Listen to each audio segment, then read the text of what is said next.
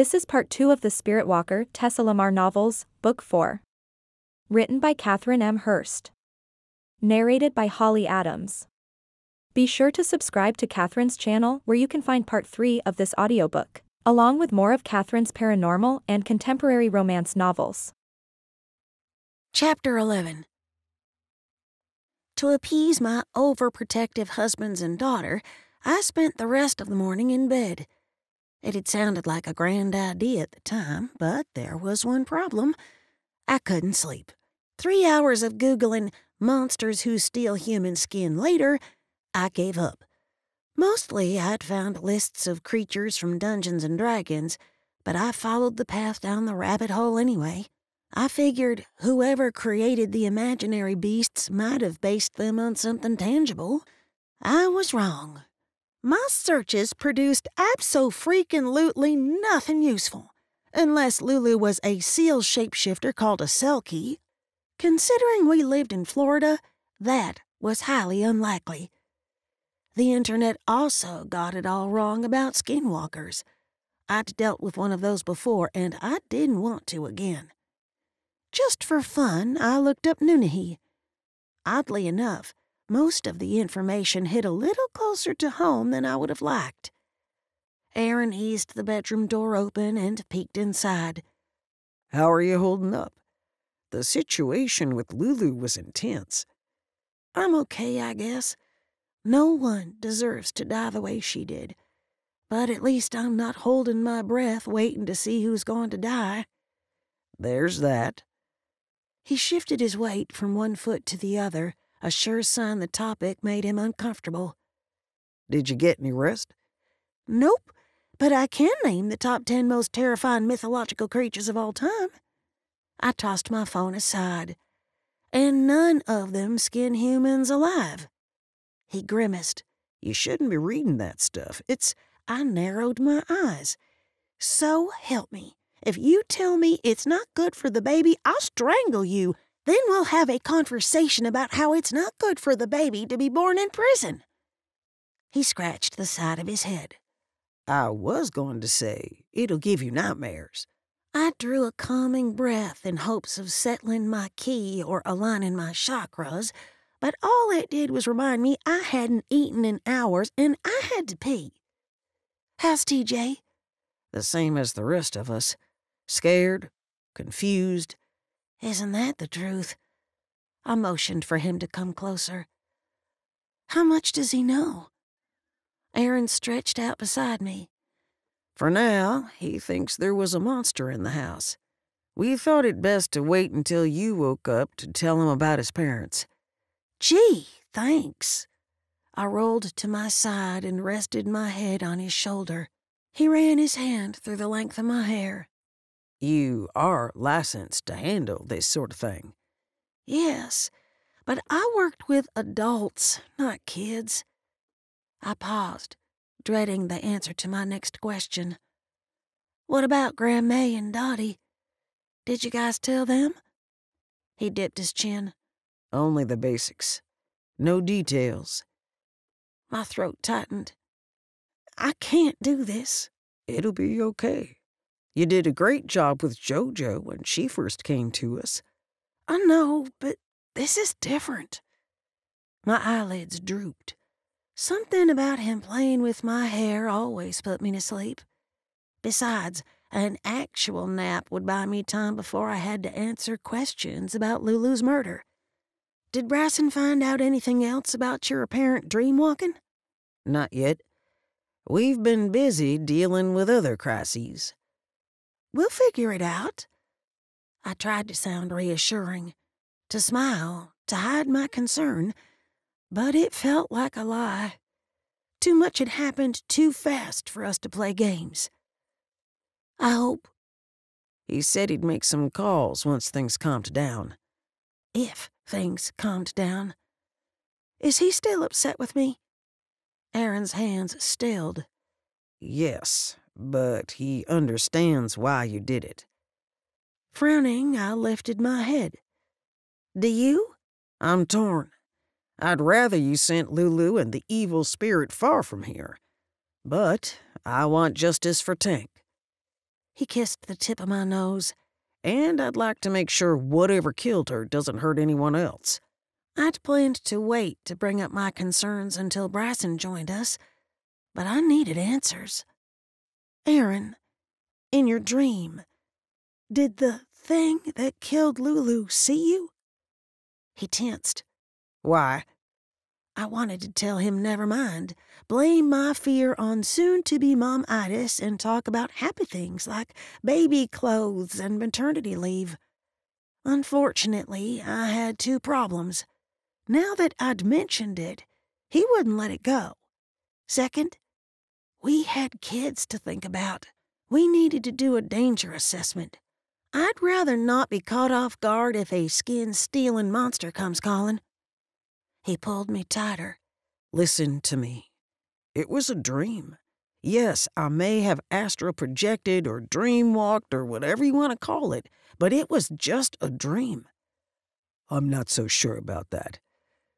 Bryson stood in the doorframe with his arms folded. You witnessed events that were happening in the physical world. Real events. You're saying the thing that killed Lulu will come after me? Aaron swallowed hard. Maybe. Maybe not. He walked into the room and sank into a chair near the bed. I'm not going to wait and find out.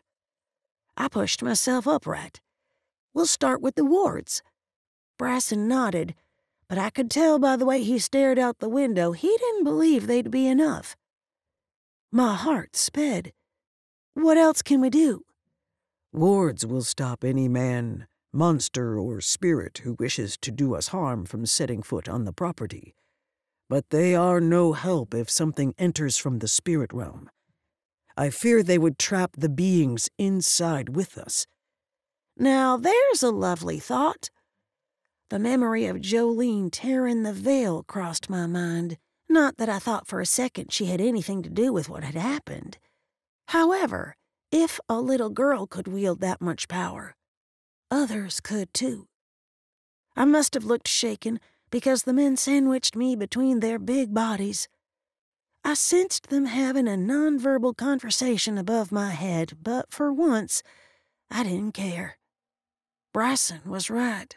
I should have sent Lulu and her evil hitchhiker to the Shadowlands. I'm shaping up to be a horrible mother. Babe. Bryson captured my chin between his thumb and index finger and lifted my face until he met my gaze. We'll protect you and the kids. Oh, no, it's just. I sighed. I feel so damned helpless. I hadn't realized how much I'd come to depend on magic. Depend on us instead. Aaron nuzzled against my hair as if scent marking me. I do. I mean, I am. I couldn't help but grin. You're not feeling the need to shift into a bird, are you? His brows climbed into his hairline. No. Why? Bryson chuckled. You rubbed your face on her hair. So? She smells like strawberries and sex. His voice lowered. And I freaking love strawberries. It was Bryson's turn to look surprised. It's something animals, shifters, and Nunnehi do with their mates. Aaron smirked. I'll let you know if I have the urge to sprout fur or feathers. This new behavior may have something to do with you coming into your powers. Bryson clamped his hand on Aaron's shoulder. If so, your emotions may become more intense. Think of it as magic puberty. Great. Frowning, he glanced at me before turning back to Bryson. Hold on a sec. Is that why Tessa was so out of control when she first shifted? Uh-uh. Don't say another word. We're not going there. I waved my hand as if to wipe their thoughts away. How do we put up wards to protect us from bad guys in the spirit world? They exchanged glances, but neither answered. I bit back a groan. While I had no proof, I'd bet my right thumb they'd had a lengthy conversation after sending me to bed like a toddler. Judging by their expressions, I'd bet my left thumb they'd come up with a plan. A plan I wouldn't like. You might as well spill it. I know you two are up to something. Aaron opened his mouth as if to speak, but Bryson shook his head. I motioned between them. One of you had better start talking. Bryson pressed his lips into a tight line and looked away. I'm not able to protect us from that sort of attack. You're far more gifted than I am when it comes to spirits. We're doomed. I can't do a simple summoning spell without needing a nap. There's no way I can weave wards. I can work with Jolene. She's able to manipulate the veil. It makes sense she could strengthen it, Bryson said. Aaron took my hand. She's our best shot. I stared for several heartbeats. They can't be serious, can they? It had taken months to train her to block the constant barrage of spirits whispering in her head. She finally had a shot at a normal life. I wouldn't allow her to get sucked back into the otherworldly mumbo jumbo. No. We'll find another way. There isn't time. Bryson finally met my gaze. The pain in his eyes made me wish he'd kept staring at the floor. No, she's just a kid. This is a grown up problem. The grown ups will fix it. Aaron sighed. We don't like this any more than you do, but I'd heard enough. I said no.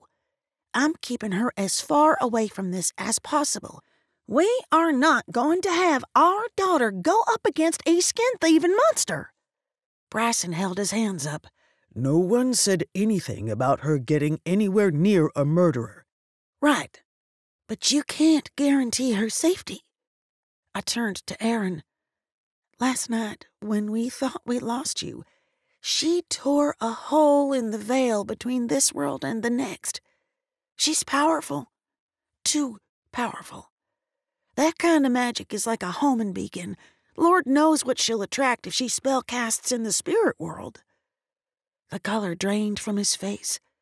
Tessa, think about it. Twice now she's understood the situation better than the three of us, Bryson said. He had a point. A weak one, but valid nonetheless. The girl had known Aaron was still alive and that Lulu wasn't in control of her spirit. I still don't like it. His voice softened. Neither do I. But what choice do we have? I can't do it. I was the last to see the spirit. Hell, TJ saw her before I did. I'll call to Charlie and Achila. They can help me put up the wards. If the spirits of two full blooded Nunnehi couldn't help us, I highly doubted anyone could. I don't want you anywhere near this. Lulu and the Dark Spirit were able to touch the baby in your womb. My maternal instinct kicked into hyperdrive, and I'm not going to endanger one child for the sake of another. The men exchanged glances, but neither spoke. I'm summoning Charlie, end of discussion. I'd planned to storm out, but the squirming and grunting it took to stand ruined the effect.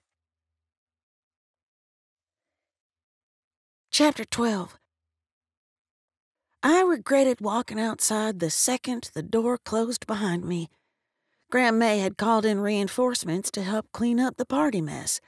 My mother and stepfather loaded folding chairs into the back of Stone's van, and a handful of cousins were taking down tents. Jolene and TJ, each with a large trash bag, wandered the yard searching for leftover cups and bottles and scraps of paper. Much to my surprise, the kids both wore huge grins.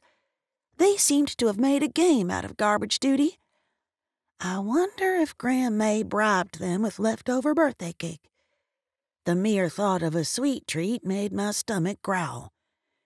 Darlene flashed me a blinding smile and marched over like a woman with an agenda. Unfortunately for me, I had a good idea which items she wanted to discuss. I hurried down the porch steps and met her halfway between my house and Grandmay's. If I had to explain why I hadn't summoned Ezekiel Clemens' spirit, I planned to do it over a glass of sweet tea and a plate full of carbs. Where do you think you're going, young lady? Stopping in front of me, she planted her hands on her hips. Oh, boy. She's in rare form. I had two choices add to her bad mood or listen to her go on and on about finding the stolen money. As tempting as aggravating her was, it would result in delaying my brunch. I decided to play nice. To scrounge up some food. Want to join me? Darlene blinked. Twice. Evidently, my invitation surprised her. I'd like that. You and I have some things to discuss. Mama, I told you I'd try to reach out to old man Clemens. I just haven't had time. She waved her hand as if batting away a horsefly. That's not important right now. I glanced at the kids. She was right. We had more pressing matters to address. Let's go inside. We walked into Grandmay's kitchen and into what I can only describe as a war room. My great grandmother and Dottie sat at the kitchen table going through a mountain of file folders, envelopes, and old address books. What's all this? Not one to let a little thing like a cluttered table keep me from food, I headed straight for the fridge. Dottie said, Somewhere in this mess is Lulu Rose's aunt and uncle's phone number and address. And Tank's will. Grandma shifted her dentures around. That stopped me for two reasons. One, Tank didn't seem like the plan ahead type, and two, he wasn't dead. Darlene saved me the trouble of asking, Why on earth do you need his will? He and Lulu left the boy to me.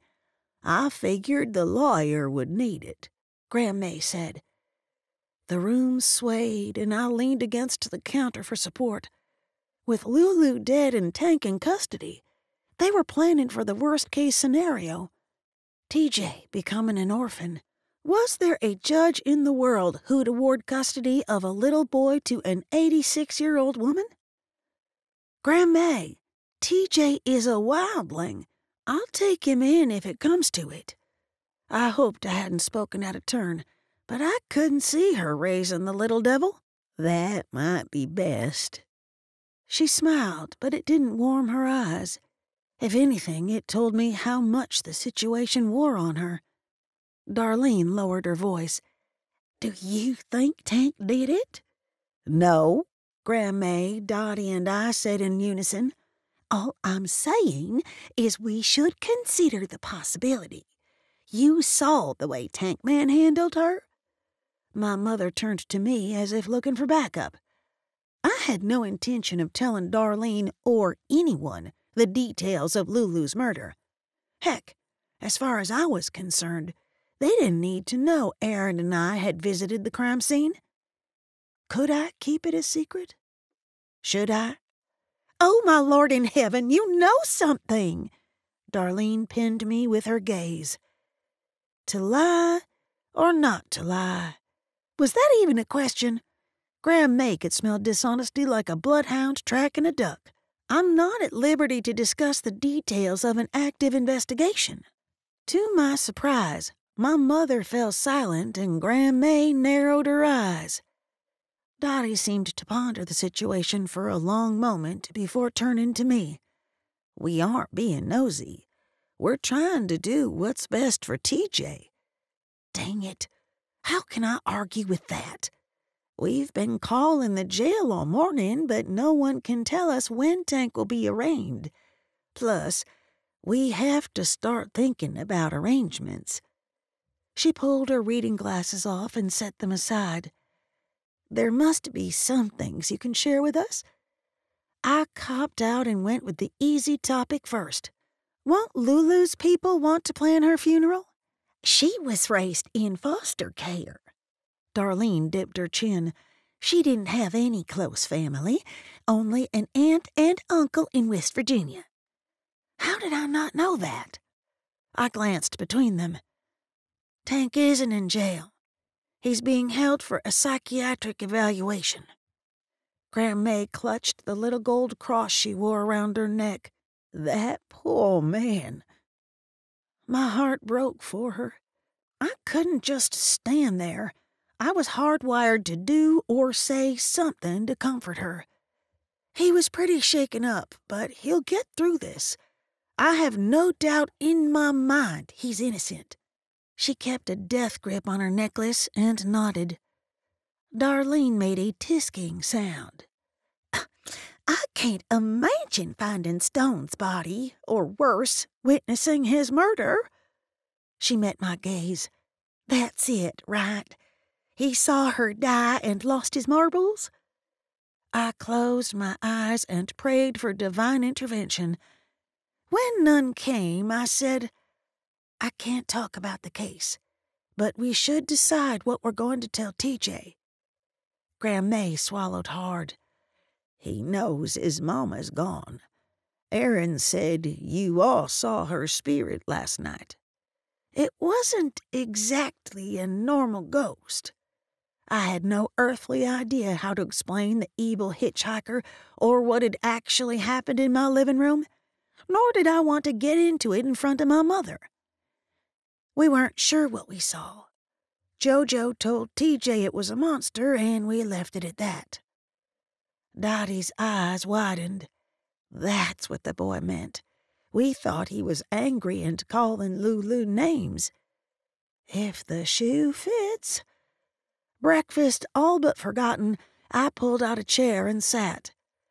Until we know exactly who or what paid us a visit, it's best we avoid the topic with TJ. The situation is going to be hard enough without him worrying about being haunted. Fine by me. Grandmay's spine stiffened. Unless you think we have something to worry about.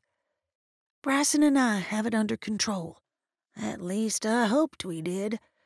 I couldn't get into my plan to summon Charlie or Jolene's potential involvement with them. They had enough to worry about without adding attack spirits, the danger to my baby, and rips in the veil to the list. My great grandmother studied my expression as if trying to read my mind. Whatever she'd seen must have satisfied her, because her shoulders relaxed. I think it's best you speak to TJ. You have training in this sort of thing. You're not the first person to suggest that. I wanted to bang my head on the kitchen table, but it was covered with papers. I glanced between Darlene and Dottie. Are y'all comfortable following my lead with TJ? They nodded. No matter what, we stick to whatever is said in this room. I locked eyes with my mother. No embellishments, no speculation. She smirked. I'm not stupid, Tessa Marie. I forced a smile and motioned to the door. Could you call him and Jolene inside? Dottie set her hand on mine. Is it a good idea to have this talk in front of Jojo? It wasn't that long ago she lost her mama. They're best friends, and he's going to need all the support he can get. I sent up a silent prayer that Jolene wouldn't contradict me or say anything more about the ghosts. Darlene stuck her head out the door and hollered for the kids. The tone of her voice made me grind my teeth. She'd used the same shrill pitch to call my name when I was little, it usually meant I was in trouble and about to get a whooping. The kids must have thought the same thing. They came through the door with their heads down and shoulders slumped. Grandmay stood. Why don't you two go wash your hands? Then we'll all go in the living room and talk. I saw their dirt crusted fingers as an opportunity. TJ, you go first. The boy glanced from me to Jolene and back. Yes, ma'am. Jojo gave me a knowing look and walked to my side. It's time to tell him, right? Yes. Are you okay with being here for this? I leaned close and drew in the scent of strawberry shampoo and earth from her hair.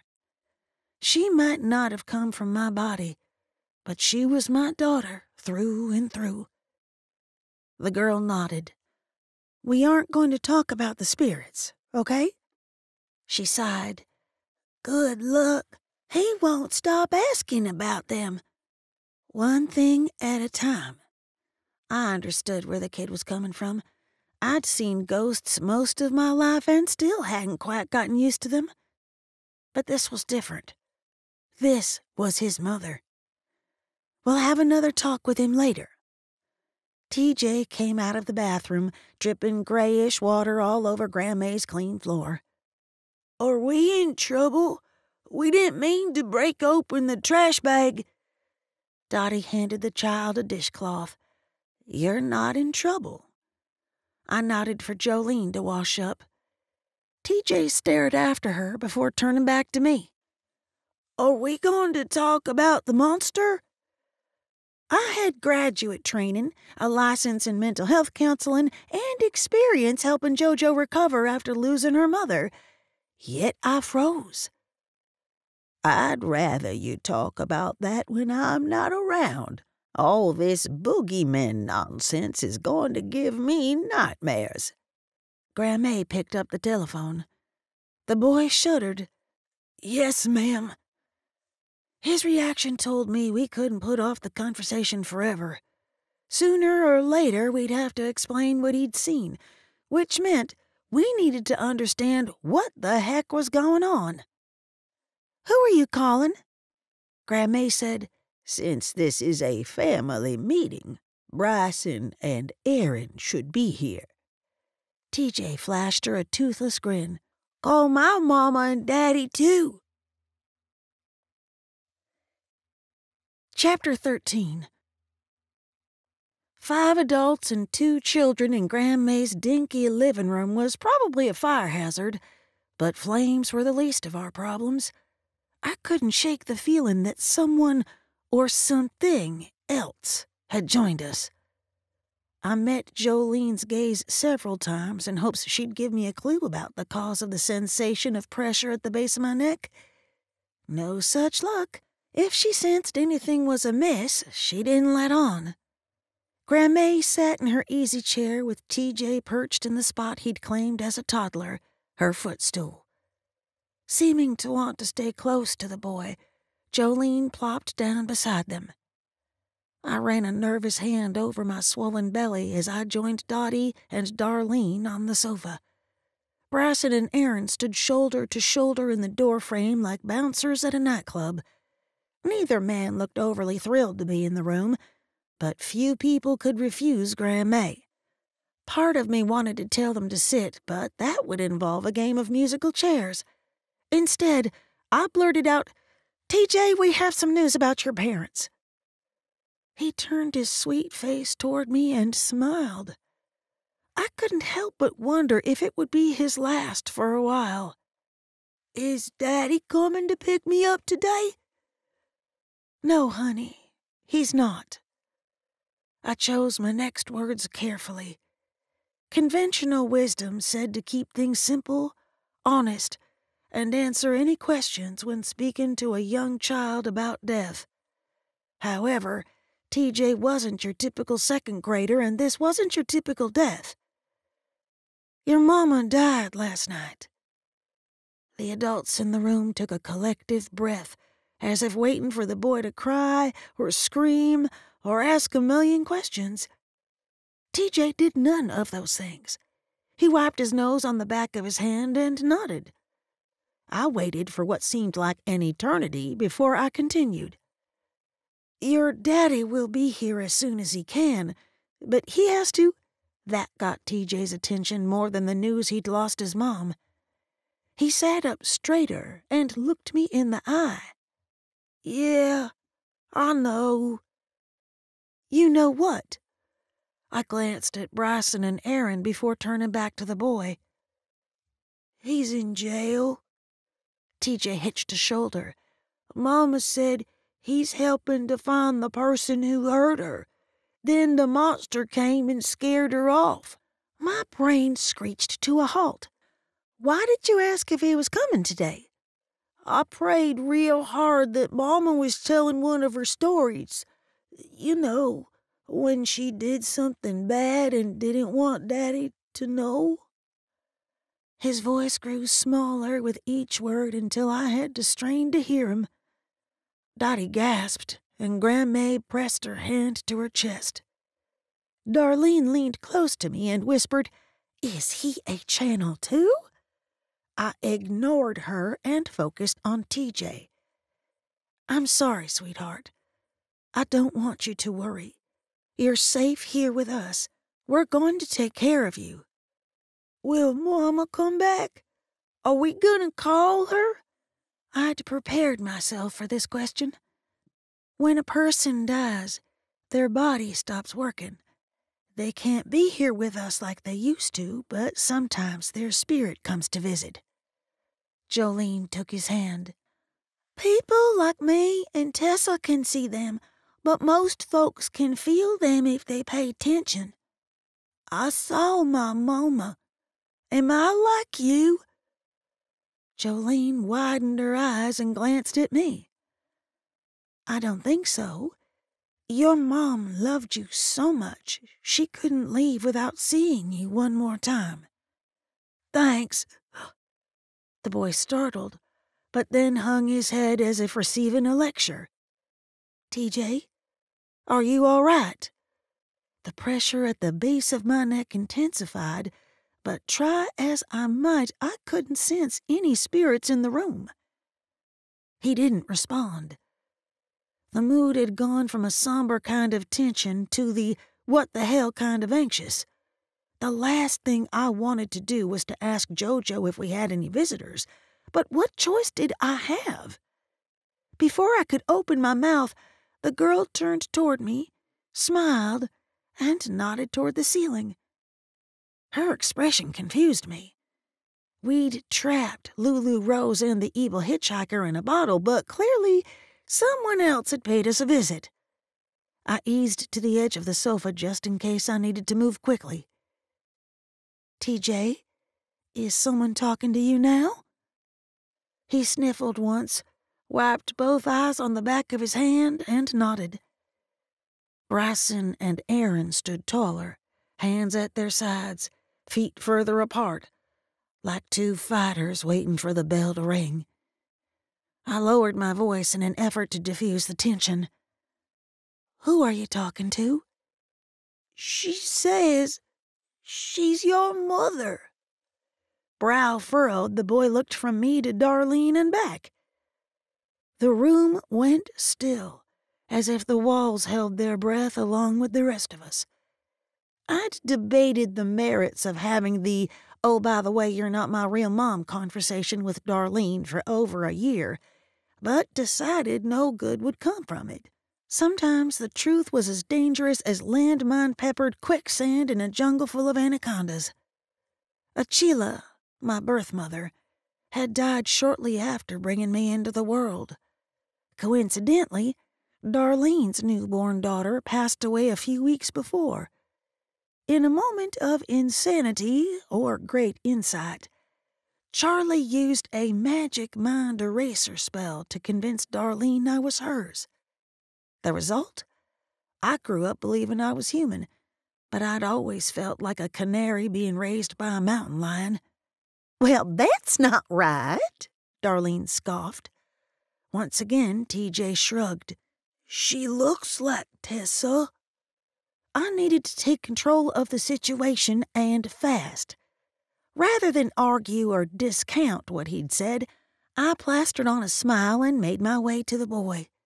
Wrapping him in my arms, I said, We can't replace your mom and dad, but we love you very much. Wearing an expression somewhere between embarrassed and grossed out, he wiggled free of my embrace. Can Jojo and I go outside and play now? Sure. No one moved a muscle until the screen door slammed shut behind the kids. Once they were out of earshot, it felt like the house itself exhaled a breath. He seems to be doing okay, But it's important to understand that children TJ's age experience grief differently than adults. They can be fine one minute and acting out or sad the next. Grandma tilted her head and stared as if she didn't quite recognize me. Feeling self conscious, I dipped my chin. A slow smile spread across her face. You did real good, Tessa. Dottie nodded in agreement. It wasn't until I noticed the men's reactions that I remembered I had a big problem. Aaron scratched his jaw, and Bryson continued to watch the goings on with a grim expression. Are none of you freaked out by what just happened? Pale faced, Darlene sat straight as a board and wrung her hands. Everyone turned back to me. I didn't see or hear a ghost. It's probably his way of dealing with his grief. You know, imagining people with two mothers. I mean, if I can have two, so can he, right? My laughter came out a shade past hysterical. I think it's time we were honest. Aunt Dottie reached over and patted Darlene's hand. This is going to be difficult for you to hear. Now? You all want to do this now? A lightning bolt of fear shot through me. I struggled to remember how to breathe, let alone speak. The floor seemed to shift beneath my feet. Thankfully, Bryson caught me before I fell. Grandma tightened her grip on the arms of her chair, but I couldn't tell if she planned to defend me or retreat. Holding me close, he murmured, It's as good a time as any. No, this isn't the time. It'll only hurt. Darlene let out a high pitched, tittering laugh that mirrored my own. I don't know what y'all are talking about, but you're making me nervous. Bryson eased back enough to meet my gaze. His right brow rose as if asking my permission to speak. I closed my eyes and nodded. This is going to be bad. Very bad. Tessa and I are different than the rest of you. He spoke in his usual tone, but his voice felt sweet and slick, like warm syrup. It took me a minute to realize Bryson laced the words with magic. I focused on the subtle shift of energy in the room and gasped. His intentions weren't to calm her down, but to lower her defenses enough for her to hear his message. I'd never seen him do this sort of thing, and Lord knew it would have come in handy more than a few times in our early days together. Darlene simply nodded. Bryson continued. We are Nunnehi. Do you know what that is? They are fairy folk, right? Yes. Bryson released me and moved to Darlene. You are every bit Tessa's mother but you are not the one who bore her. With the help of his magic, she seemed to take the news in stride, whereas I wanted to puke or faint or go into labor, anything to put an end to the conversation. Aaron must have sensed my distress because he draped his arm across my shoulders and kissed my cheek. It's going to be okay. I hope so. I couldn't look away from her. She never had much of a poker face, but with Bryson's magic stripping away her natural defense mechanisms, I could almost see the pieces of the puzzle falling into place. But I had a daughter. She glanced at me for a heartbeat. Your child passed into the spirit realm weeks before Tessa was born. Bryson took Darlene's hand. After Tessa's birth mother died, Charlie gave her daughter to you to raise. Tension creased the corners of Darlene's eyes. Why? I can't speak for him, but I suspect his reasons were twofold to heal your broken heart, and to protect Tessa from those who would try to harm her. He turned to Dottie as if asking for confirmation. The older woman nodded. Charlie was worried about both of you. It might be hard to understand, but he did what he thought was best. I had mixed feelings about the entire ordeal, especially his decision to keep the truth from me for so long, but I kept my mouth shut. Darlene raised a trembling hand to her mouth. Y'all knew this all along and never told me?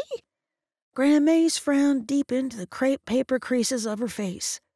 Dottie and I knew, but Tessa only found out after Charlie died. My mother stared at her hands. She stayed quiet so long, I fought the urge to fill the silence, to go to her, to beg her not to let this change our relationship. We'd only recently stopped fighting long enough to bond. If I lost her now. Darlene met my gaze. I don't care. You always have been, and always will be, my baby girl. I let out a choked sob. I love you, Mama. I love you too, even if you aren't human. Her eyes widened. That time you rescued Stone and me from the serial killer. You didn't have a blowtorch, did you? Laughing through tears, I said, No, I used my magic to cut through the metal wall. I knew it. She shot to her feet and pulled me from Aaron's arms. This is wonderful news, don't you see? People will line up for miles to see a real live fairy. Bryson made a sound deep in his throat. If I didn't do something to change the trajectory of the conversation, he'd bespell my mother into forgetting her own name, let alone my origin. We can't tell anyone. Charlie was right to keep me hidden. There are people out there who would hunt me to the ends of the earth to steal my magic. Of course, we won't tell anyone you're a Nunnehi. Most folks haven't ever heard the word Nunnehi, let alone know the stories about them. I nodded, though I disagreed. A few people did know, and they posted all sorts of articles about Cherokee fairies. She tapped her lips. We'll call you a wizard. No, a witch. Wizards are male. My mouth fell open. Don't look so surprised, Tessa Marie. She smirked. I've seen the Harry Potter movies. Movies, not the books. Figures. I knew I'd live to regret Darlene learning the truth the second Dottie had opened her big mouth. Sure, they all meant well, but none of them understood Darlene like I did. She'd have me making YouTube videos wearing a pointy hat and striped tights by the end of the week. Chapter 14 After the day from hell, Grandma and Aunt Dottie took pity on me. Not only had they sent me home with enough leftovers to feed a professional football team, they'd offered to keep an eye on the kids while Bryson, Aaron, and I took care of business. The first items on our agenda were supper and research. Aaron made a sandwich and called the station to get the scoop on the case against Tank. Bryson took his food into our office and reached out to his network of medicine men and other human magic users. I took advantage of my alone time by polishing off a second plate of smoked chicken and macaroni salad while Googling everything from monsters to custody cases involving incarcerated parents. Bryson returned to the kitchen and sank into the chair beside me. No luck? One glance at his tense shoulders and hard set jaw told me the answer, but I didn't know what else to say. Nothing useful. He motioned to the laptop. You? I turned the computer toward him. Establishing temporary legal guardianship of TJ seems straightforward enough. I'll need to have Tank sign off on my petition. Otherwise, it's much simpler than what we went through with Jolene. Good. It took him a second or two to realize what I'd said. Your petition? I think I should be the one. Grandma is getting up in years, and we have more space. Plus, Jojo and TJ are close. Bryson rested his hand on my belly as if to remind me we'd soon need the extra room for a nursery. We have a lot going on. Tank will get out soon. If not soon enough, then Quinn can bunk in our room for the first month or so. I love TJ, but he's a handful. Are you sure we can handle him, a newborn, and all our other responsibilities? Before you answer that, I have some information, Aaron said from the doorway. As it stands now, there's zero evidence of an intruder. Besides Tanks, there were no fingerprints or DNA in the trailer or on Lilu's body. It's only been 24 hours. There's no way CSI finished processing the scene. I refused to accept the killer or monster or spirit or whatever the hell that thing was would get away with murder. Nor would I sit by and watch Tank spend the rest of his life behind bars. No, but it's not looking good. There wasn't as much as a stray hair. Aaron hung his head. Bryson rested his hand on my cheek and turned my face toward his. Babe, I know this is hard, but we need to plan for the worst. Fine all the more reason for us to raise TJ instead of Grandma or Dottie. It seemed like we'd just had this conversation about Jolene, only this time I highly doubted one of my husbands was secretly TJ's daddy. I'm all for it. Aaron pulled a chair out, turned it backward, and straddled it. He's a hellion, but I'm up for the challenge. Bryson glanced between us and sighed. I'll agree on one condition. Oh boy, here we go. I braced myself for him to insist we move to a bigger house or the mountains or Timbuktu. We stopped seeing members of the tribe here. I'll speak to Buck Oldham about making space for us to work out of the tribal house in Geneva. He met my gaze. And I want you to extend your maternity leave to six months. What? I'd heard the expression seeing red a million times, but I'd always thought it was impossible. Until then. You want me to stay here? By myself? With three kids? For six months? Aaron eased back as if to put as much distance between himself and the crazy pregnant lady as possible. I'd prefer a year, but I'm willing to compromise. The big jerk had the audacity to grin. I turned to Aaron. You realize he's talking about keeping me off murder investigations, right? You have nothing to say about this? He winced and ran his hand over the back of his neck. I think he has a point. You're both taking leave when the baby comes. Why don't we all stay home for half a year? I pushed my chair back so I could see both of them at the same time. Bryson folded his arms. My goal is to keep everyone safe. The best way to do that is to stop the flow of strangers onto the property. Last time we tried to close up shop, people came out of the woodwork to find us. He was right, but dang it, I didn't like it. Not one bit. Aaron offered a slight smile. I'll talk to the chief. I'm not sure he'll approve six months, but I believe I'm entitled to three. It's not a punishment. It's what's best for the kids, all of the kids. Bryson turned toward me. If Tank is convicted, TJ's going to need a stable home. We can't give it to him if the three of us are on call 24 7. As much as I wanted to, I couldn't argue with his logic. However, I could argue with his plan. I'm willing to take the full 12 weeks leave and work part time for the first year, if. Go on. A hint of a smile ghosted his lips, and I knew I had him. I made a show of pressing my fist into my lower back as I stood. Sure, it was a dirty trick, but I needed all the advantages I could get. If you're willing to do the same.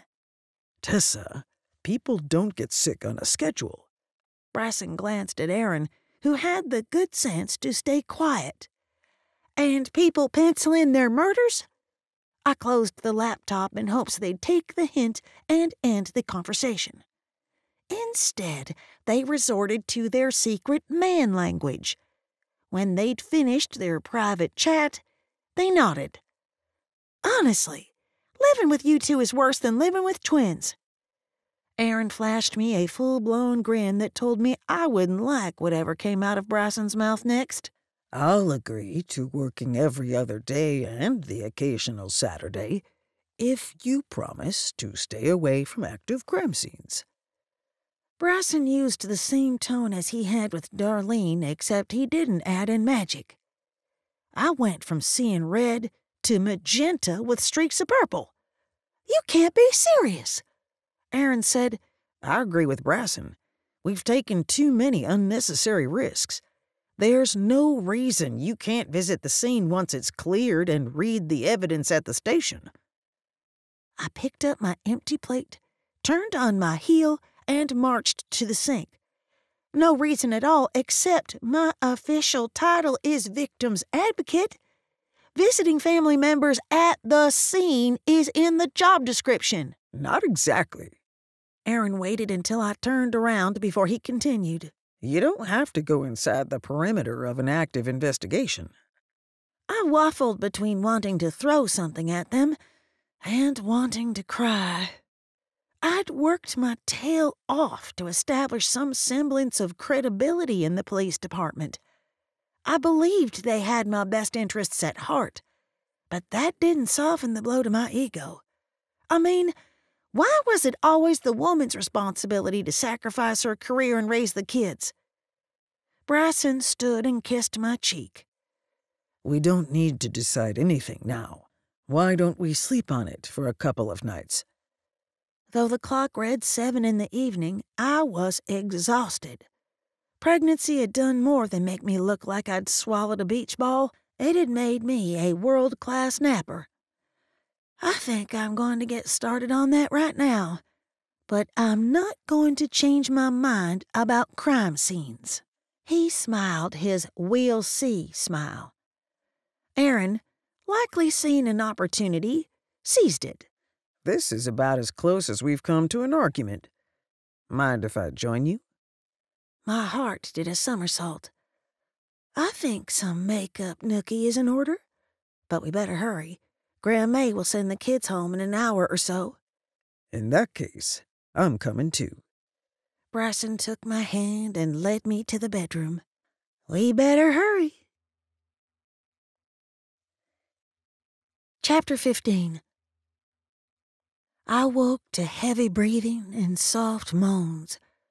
For a split second, I thought the guys had decided to have a little sexy time while I slept, but that didn't add up. Despite some curiosity early on, they'd decided they were more comfy fooling around with me in the middle. I stared, blurry eyed, at the empty spot on Bryson's side of the bed. He must have gone back to work once I'd drifted off. The bed moved behind me, and Aaron muttered something in his sleep. My throat went dry. I tried to roll over and found myself tangled in the sheets. Aaron, Wake up. You're dreaming. He sucked in a labored breath and stilled. Wake up, please. Wake up.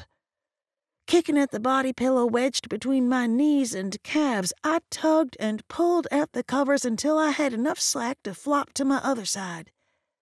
My brain refused to make sense of the situation before me.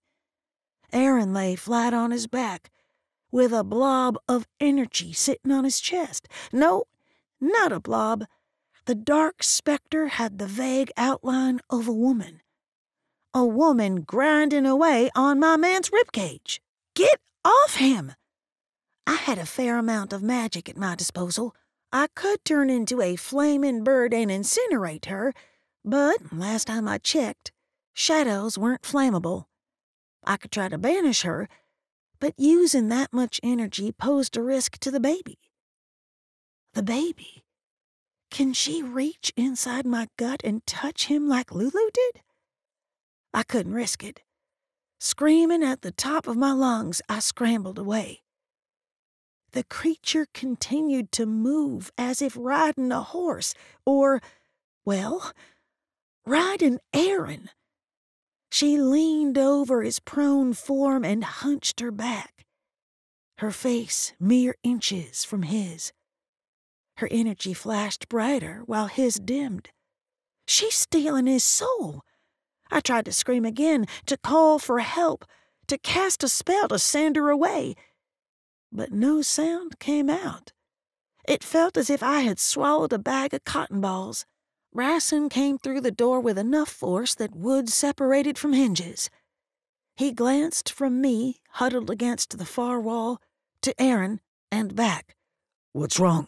You can't see it? My voice cracked. See what? I didn't have time to contemplate the difference between this creature and Lulu's hitchhiker. Instead, I shouted incoherent sentences. Spirit woman! Attacking! Aaron! His chest! Hurry! Get out of here. Easier said than done. I couldn't move for fear I'd collapse. One second Bryson was a man, the next he'd shifted into his spirit animal, the great hawk. The bird let out an ear piercing screech. The being turned her head and hissed. The hawk must have seen and heard her because he shook his head and launched himself toward the bed. Talons, sharp enough to cut steel, sliced through the air. And, to my surprise, the creature. Her howl reminded me of hurricane force winds funneling down an alley, angry, loud, and capable of destroying anything in its path. Unable to properly fly in the confines of the room, the hawk landed on the far side of the bed and repeated the maneuver. This time, the being vanished before contact. Aaron didn't as much as flinch. Please tell me he's okay. My trembling legs gave out and I sank to the floor. Bryson shifted back to his human form and shook Aaron's shoulder. Hey, wake up. Aaron had his back to me, but I didn't need to see his face to know he'd opened his eyes. His body went from relaxed to tense to boneless. Bryson shook him again. You okay? Exhausted. His voice came out gravelly, as if he'd gargled sandpaper. I had another dream. I need you to sit up and not fall back to sleep. Aaron tried to follow instructions, but twice he slipped and fell back into a slumber so deep Bryson had to rouse him. I'm up, he didn't sound up. He sounded like he was talking in his sleep again. Tessa, I'm going to set him up right. Come over here and keep him awake until I get back. He lifted Aaron's shoulders and shoved my body pillow behind him. Where are you going? What if that thing comes back? I sat on the edge of the bed to keep Aaron from falling over. I have a tincture that should keep him awake. Bryson left the room before I could reply. What happened? Aaron pinched the bridge of his nose, but even the small movement seemed to cost him. He sighed and dropped his arm to his side. There was another creature or spirit or something. She was attacking you. I bit my lip to keep from saying too much and freaking him out even more. Some things were best discussed wide awake and preferably in broad daylight. Being ridden like a prized racehorse by a shadow woman intent on stealing your soul topped the list. His eyes widened. My dream. The murderer was sucking me dry like a vampire. I hadn't thought to equate the attack to a vampire, but it was darned close. I don't smell anything. Me either. His eyelids drooped. But the killer looked the same. I patted his cheek. Uh uh. You're staying awake. Tell me more about the dream. Another murder scene. I chased the perp into the woods. She turned on me. He furrowed his brows. There's another victim. We'll call Samuels after you've had a dose of Bryson's magic go go juice. Huh? Never mind. I glanced over my shoulder, hoping Bryson would hurry the heck up. When I turned back, Aaron had drifted off again. Aaron Joseph Burns, open your eyes. It must be bad if you're using my middle name.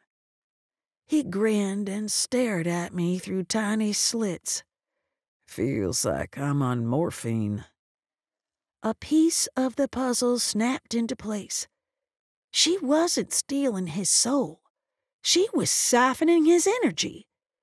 Bryson, the tincture isn't going to help. Aaron grimaced. No yelling. I'm awake. The clinking of glass on glass announced Bryson's return. It's a stopgap to prevent another attack. Right, but I think she was some sort of vampire siphoning off his energy. That'd explain the fatigue. Holy crap on toast. Is there such a thing as an energy vampire? Or any vampire for that matter?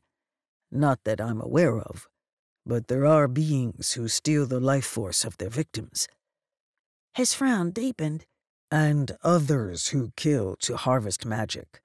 I don't know which this creature was stealing, but it was definitely a woman. I couldn't see her. Bryson set the tincture on the dresser.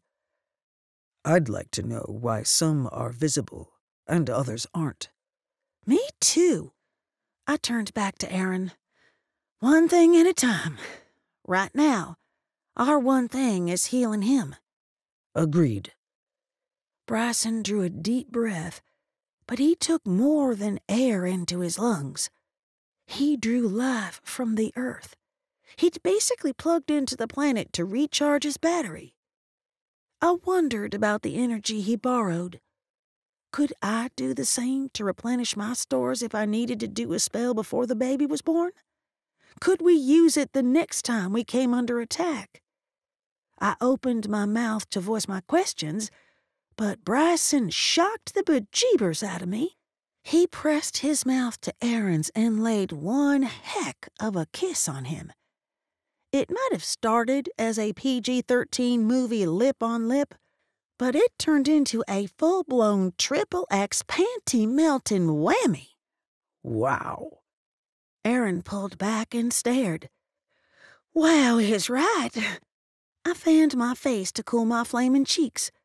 Bryson dipped his chin and cleared his throat. I should have warned you. The exchange of energy is intimate. That's an understatement. I giggled despite the seriousness of the situation. It's also amazing. Why haven't we done that before? We have when we took each other as mates. Oh, I don't remember it being like that. I regretted the words as soon as they left my mouth. I mean, our mating rituals were incredible, but they were. We were. There was a lot of dangerous stuff going on around us. The men smirked. What I meant was, why haven't we borrowed energy from the earth when we've been in trouble in the past? Seems to me it would have helped. The law of conservation of energy. Bryson grinned like my confused expression amused him. I motioned for him to explain. I haven't had a science class since my freshman year of college. Energy cannot be destroyed or created. There's a finite amount. Much like magic, there's always a price to pay. I hated physics in school, but I hated magical physics even more. So what? You're telling me because you borrowed magic from the earth, a sinkhole's liable to open up and swallow the house? No. He frowned. I took what little magic remained in our wards. We will need to repair them soon. Aaron sat up on his own accord and threw the covers off. Sorry to kiss and run, but I need to check in with Samuels. There's been another murder. Bryson clamped a hand on his shoulder. Make the call, but I need you to stick around. We have to figure out what we're up against before it comes at us again. That reminds me, I need to speak to Charlie. If anyone can tell us what this is and why it's attacking Aaron, it's him. I flashed them a smile, which turned into a frown when they exchanged glances. Talk to him tomorrow after you've gotten some rest, Bryson said. I agreed with him, but I had no intention of telling him that. It would set a precedent. A precedent they could use to justify locking me in the house for the next seven months. Um, fine. This is too important to wait. Charlie might know what's going on around here and how to fix it. Aaron ran his hand down my back. He's been running nonstop for days. Get some sleep. Fine. I tugged the covers over my legs. Good night, they said in unison, but took turns kissing me good night. The smart aleck and me couldn't resist getting the last word. I pointed to the ruins of our bedroom door.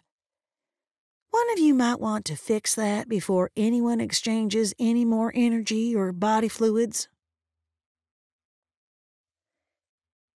Chapter 16 Since moving into Charlie and Dottie's house, we'd made some significant changes to the floor plan.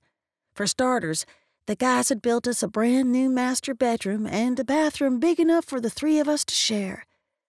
However, one room hadn't changed Charlie's office. I crawled to the center of the twin sized bed and allowed the familiarity of the space to wrap around me like a warm blanket. The old desk still sat in the corner. Jars still lined the bookcase. If I closed my eyes and focused, I could smell him cedar, wood smoke, and old spice. Charlie? Are you there? It had taken over a year for his spirit to come to me. I was hurt when I'd found out he'd visited Dottie several times shortly after he'd died. Heck, he'd spoken to Jolene before me. But when he'd finally made his appearance, it had been a showstopper. How many women can claim their grandfather returned from the dead to walk them down the aisle on their wedding day? Unfortunately, He'd gone all but silent since giving me away. The same pressure at the base of my neck I'd felt at Grandmay's returned. This time, it didn't scare me.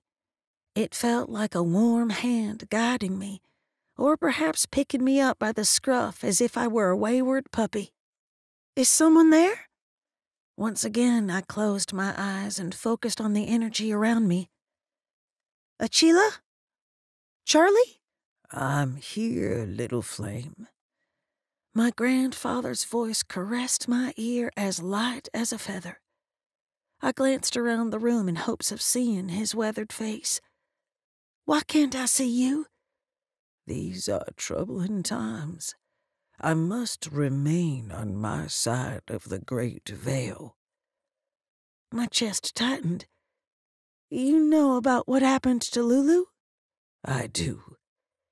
The weight of his presence lessened, and for a terrifying moment I thought he'd gone. Grandfather? You mustn't keep her spirit captive long. I sighed. Do you know what or who killed her? I'm afraid I don't. The pressure on my neck increased. You and your mates are in great danger. You must repair the barrier between your world and mine. The veil is broken? Images of Lulu's ghost and the inky darkness that accompanied her flashed through my mind, but they paled in comparison to the memories of the creature sucking the life out of Aaron. Achila and I are doing all we can to keep folks where they belong.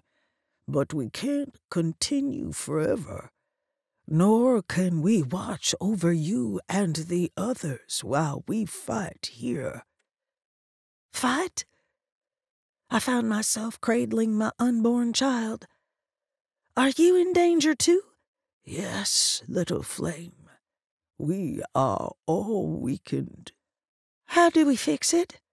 Find the one who is damaging it. Right. Easy enough. Unlike Achila and the other elders I'd come into contact with, he spoke plainly, but I wished he had more answers. Any idea what we're looking for? As soon as the words left my mouth, I thought of Jolene. Is it Jojo? The pressure on my neck vanished, along with his essence. Charlie? A cool wind blew through the room hard enough to make me shiver. Oddly enough, it didn't disturb my hair or the papers on the desk. The breeze seemed to move through rather than around me. The tear in the veil. I left the office as quick as my puffy feet would carry me. Bryson and Aaron stood in the kitchen with their heads together. From the looks of it, they were in the middle of a heated discussion. A discussion that ended the second I walked into the room. Where are the kids? I noted the dirty dishes and a stack of cold pancakes on the counter. What's going on? Bryson took a step back. They're outside, playing with Maddie. Were you able to speak to Charlie? Yes. He said someone is damaging the veil between the physical and spirit worlds. We have to find the culprit and fix the tear. Bryson said, Any idea who? After the way Jojo handled Lulu the other night, I'm thinking she's doing it on accident. We need to talk to her and find out. I suspect she's been reaching out to her mom. Both men tensed. Don't look so concerned. I'm hoping it's her. If not, we're going to be looking for a needle in a football field. I motioned to them. Now, what did I walk in on? Aaron did the thing where he opens his mouth and quasi smiles while rubbing his jaw. Uh. I hated the expression. Not only did it tell me he had something heavy to discuss, it told me I wouldn't like it. Or, in this case, maybe Bryson had a problem with the subject. Spill it. I haven't got all day to stand here waiting. The kids won't stay outside forever, and there's the little problem of my mother and grandfather battling to keep evil spirits from setting up shop in our living room. The men gawked. Bryson gave me a hard look. Next time, lead with that. I pinned Aaron with a death stare. He sighed. I was right. There was another murder last night. Same MO as Lulu, but I can't get any more information. Samuels and I aren't on the case. I resisted the urge to tap my foot. And? And you're the victim's advocate assigned on call. Aaron looked anywhere except at Bryson. Oh. A pang of guilt curdled in my stomach. No wonder Aaron was so frustrated with the situation, and no wonder they were arguing. I'll go. This might be the break we need to get Tank out of trouble. Aaron sighed. Normally, I'd agree, but the psychiatric hold makes it more difficult to give him a get out of jail free card. Bryson folded his arms and stood there, as still and as silent as a marble statue. Whatever remorse I'd felt for taking Aaron's head off vanished. I'd had enough of the roadblocks keeping me from doing my damned job. I was pregnant, not an invalid. Bryson, you've got something to say? We're vulnerable here. I can't put the wards back until we repair the veil. The muscles on the side of his jaw budged. The investigation can wait. I agree, but somehow it's all related. I'm going. Truth be told, I didn't know for sure the killings and the problem with the veil were related. Plus, I didn't want to see another skinned corpse, but I wasn't about to tell him. Not when he'd gone into full caveman mode. He seemed to consider my words. Or my sanity. Maybe both. Go. See what you can learn and get back here as soon as possible. I'll speak to Jojo while you're gone. Wait, what? He agreed? I glanced at Aaron. Fat lot of good it did. He shrugged and grabbed his keys. I'm driving. You're not on the case. Doesn't mean I can't drive my wife to the crime scene and make sure she's safe. Fine. Give me five to change into a uniform. I turned on my heel and stormed into the bedroom, and by stormed I mean waddled forcibly. Bryson was bad enough, but Aaron, too? I couldn't handle both of them carrying clubs and wearing animal skins. Someone needed to be rational in this relationship, and my raging hormones ruled me out.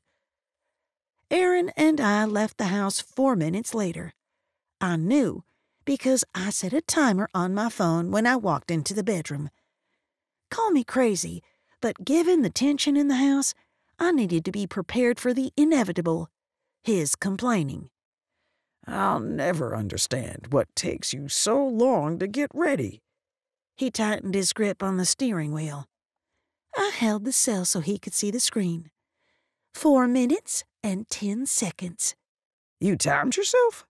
He fought to hold back his grin. Four minutes and ten seconds to change clothes.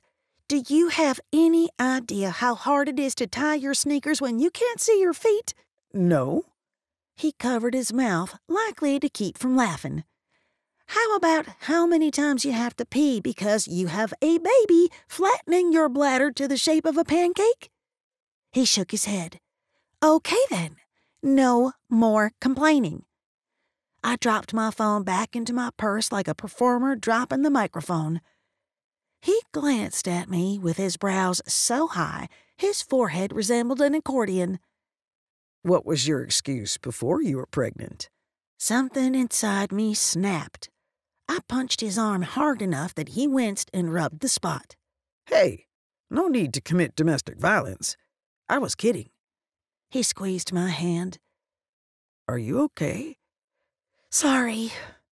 It took me a minute to come up with an answer. I'm worried about TJ and the veil thing, but honestly, I'm more upset about you and Bryson interfering with my job. Aaron pulled his hand free and turned the car into a subdivision. I get it. I can't stand not being in the middle of the action. Heck, I'm tagging along with you because I can't not be on this case. His use of a double negative made me smile. So, you'll back off? I didn't say that, but I'm willing to find a compromise.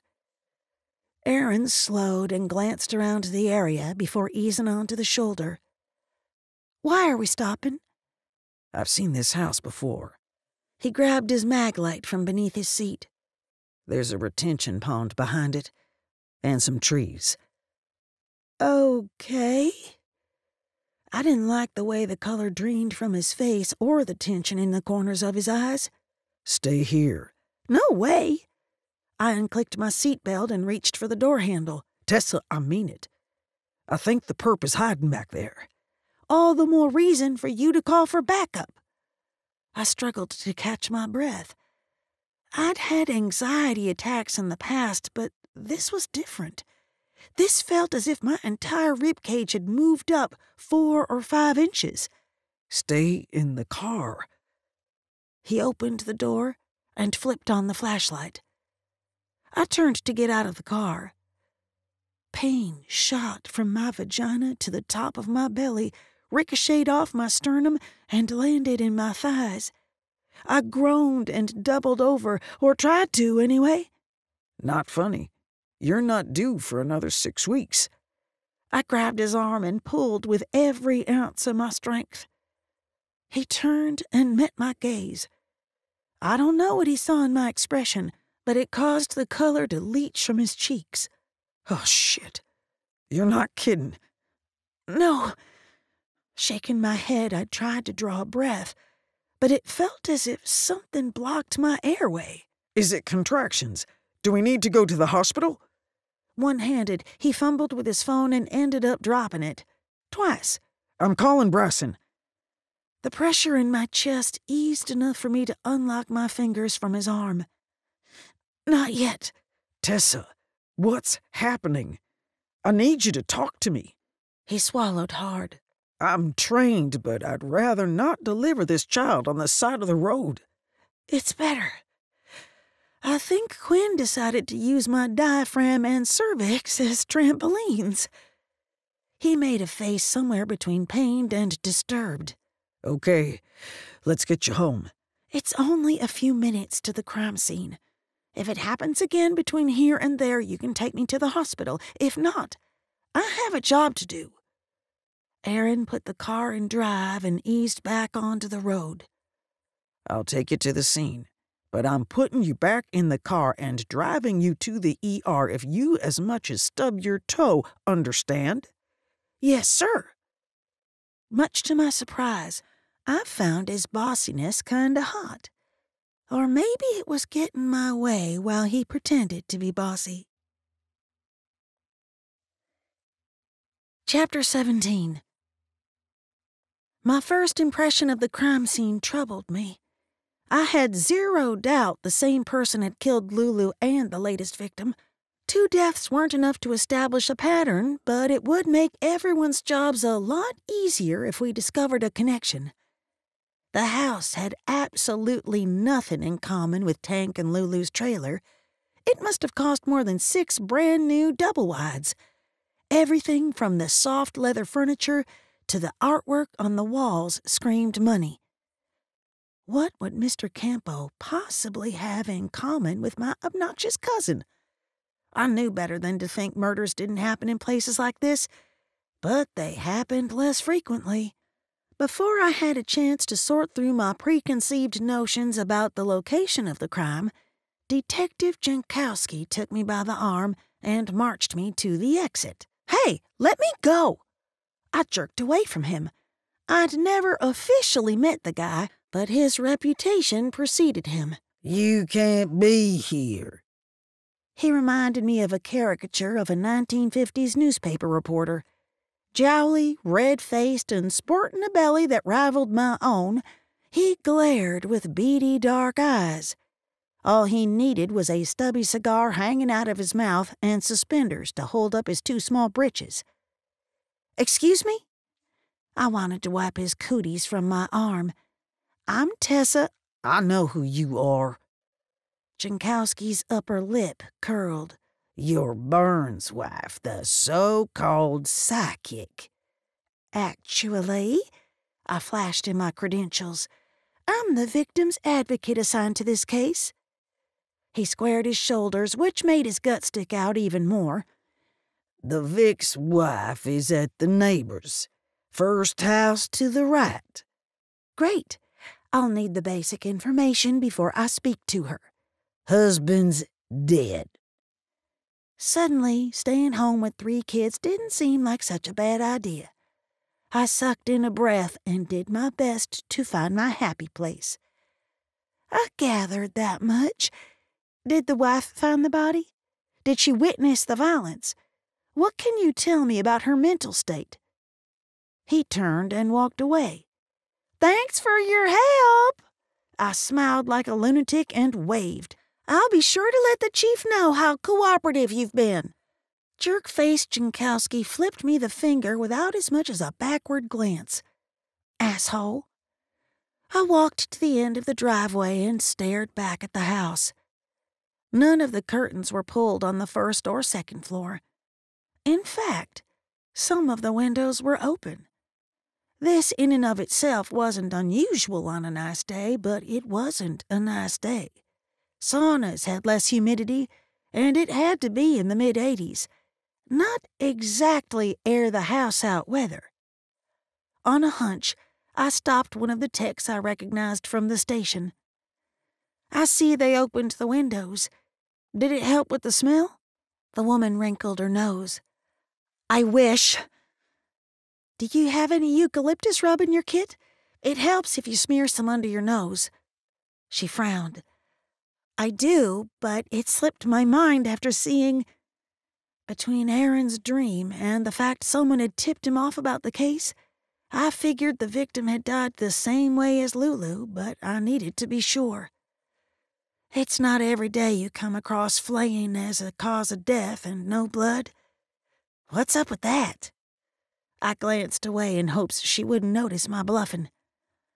Her shudder told me I'd assumed correctly. It's the worst case I've worked on. Me too. I turned back toward the house and watched the upstairs windows. Most of the police activity centered in the room on the far left. Did they remove the body from the bedroom? The medical examiner isn't finished. She looked away. The mental health therapist in me recognized a woman struggling to come to terms with her brush with pure, unadulterated evil. Without some sort of help, she ran the risk of developing anxiety, PTSD, and a whole host of other problems. I had an idea. Let me give you my card. I'm a counselor as well as a VA. Thanks. This one is bad and I'd rather not talk to the shrink at the station. She winced. I mean, no offense. I know you're a mental health counselor. None taken. I handed her my contact info. Give me a call any time. She smiled at my expanding midsection. When are you due? Not for another five weeks and three days. I glanced around for Aaron, but couldn't find him in the crowd of neighbors and uniformed officers. Have you seen Detective Burns? He's not working the case. Her eyes widened. You're his wife, right? Tessa? Guilty as charged. I'm Emily. Sorry, I should have recognized your red hair. I've seen you with him, but I'm usually looking at his. Her cheeks flushed. He's pretty easy on the eyes. Early in the relationship, comments like hers would have bugged me. Marrying two guys who scored well above 10 on the hotness meter had taught me to control my jealousy. It did not, however, teach me how to stop worrying. Where the heck is he? I should get back in there. The humor drained from her face. I meant what I said. Call me any time. I waited for her to enter the house before I pulled my phone from my bag and dialed Aaron. Hey, everything okay? His words came out breathy, as if I'd interrupted his workout. As well as can be expected. I turned and scanned the crowd. Where are you? Close. Have you spoken to the victim's spouse? Close? I just bet he was close. In fact, I had a sneaking suspicion he'd doubled back to the front of the neighborhood. I'm on my way there now. White Colonial to the right of the scene. Be here in five minutes, or I'll have half the force searching for you at the retention pond.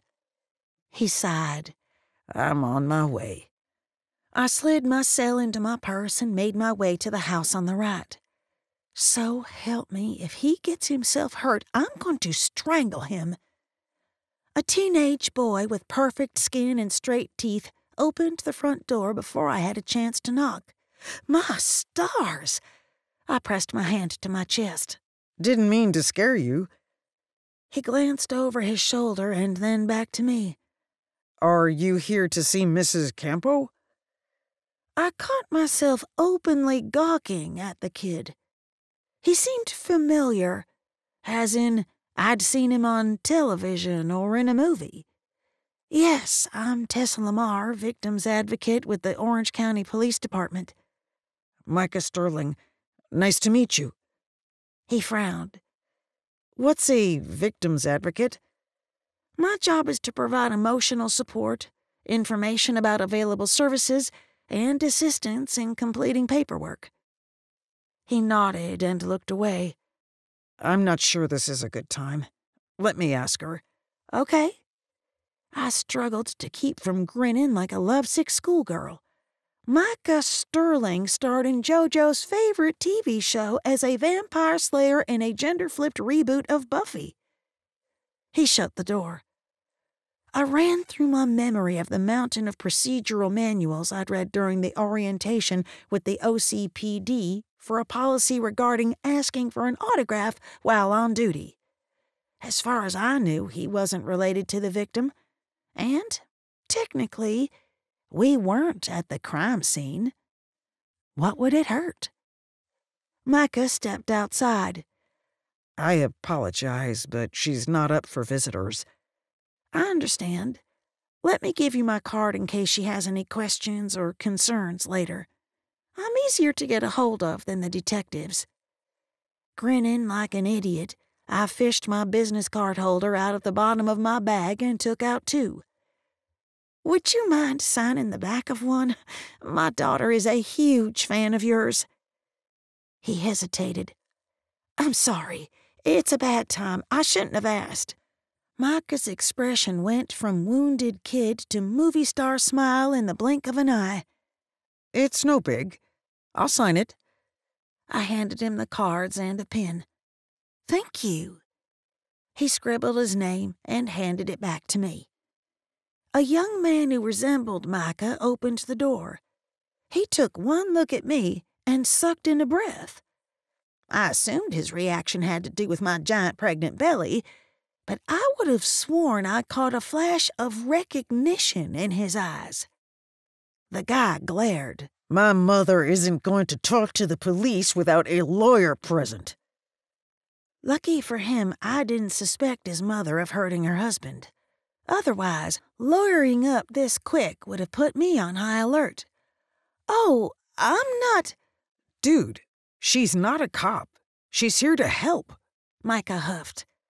Whatever she is, get rid of her. Mom's asking for you. He gave me one last dirty look and closed the door. Noah, my brother. I wish I could blame his rudeness on the circumstances, but he's always been a douche. A handful of words in the English language make me cringe. Douche ranked in the top ten. However, it wasn't his potty mouth that made me cringe. I'd completely misread the situation. Your real name isn't Sterling, is it? No, it's Campo. His voice cracked. How did my dad die? A knot formed around my heart. I couldn't lie, but Jankowski hadn't bothered to tell me what information I could release. Surely Mrs. Campo had said something to her sons? Micah sighed. My mom, she was hysterical. She claims the person who killed my dad wasn't human. Struggling to find the right words, I rested my hand on his upper arm. I needed to buy some time to talk to Aaron and possibly the chief before I could answer his questions. I didn't see your father, but I will ask the detective working the case about the cause of death. I keep thinking this has something to do with me. He stared with such intensity I took a step back. I don't know if it's because of the role I play on the show or what, but I have some seriously disturbed fans. Once again, I had no words. How many more kids would lose a parent before we solved the case? I harbored no illusions that traditional investigation techniques would catch this killer. I did, however, see a silver lining in the dark clouds. If Mrs. Campo's story matched Tank's, the authorities would have a harder time dismissing their statements. It's very important you and your mother tell the police everything. You never know what bit of information will be the lead they need to find out who hurt your father. You expect my mom to tell the cops a Nosferatu killed my dad? He scoffed. I recognized the term from his show. Nosferatu were hideous vampires, as opposed to the normal good looking variety. Yes, if that's what she saw, then yes. My family has had enough bad press. If this got out, it'd be like the situation with my brother all over again. I remembered hearing something about his older brother on the gossip shows, but the details escaped me. Plus, I needed to keep him focused on the moment at hand, not some scandal that happened last year. I'm not much of a cable news watcher, Someone claimed Noah and his girlfriend were part of a cult and leaked it to the press. His frown deepened. It was a circus.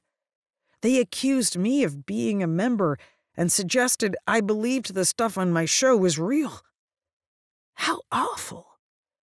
I'd had run ins with the media because of my abilities. I understood what it felt like to worry about your career because people thought you were a whack job. However, if I had any shot of clearing Tank's name, I needed Mrs. Campo to testify, even if that meant a little creative embellishment on investigation techniques. You know, if your mom tells them what she saw, the crime scene investigators may shift gears. I mean, if they suspect the perpetrator was wearing a costume, they might look for latex and makeup. Micah Sterling's face brightened. I didn't think of that. Encourage her to tell the truth, no matter how weird it sounds. He studied my business card. I will, and I'm going to have her give you a call. I'm happy to help. I might not have any new leads, but Mrs. Campo's testimony was a start in the right direction. I'll leave you be. Take care, Micah.